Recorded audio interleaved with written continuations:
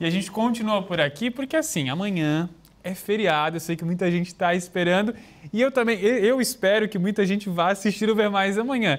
Inclusive, a gente preparou um esquema aqui para vocês, uma arte bem especial, com várias informações sobre os serviços públicos, os que funcionam e os que não funcionam nesse feriado que chega amanhã. Confere só.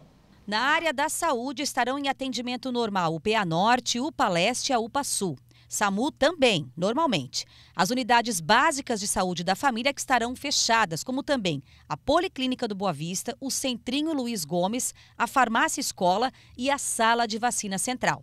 Na educação, tanto as escolas e CIs do município estarão fechados. A coleta de lixo vai acontecer em horário normal.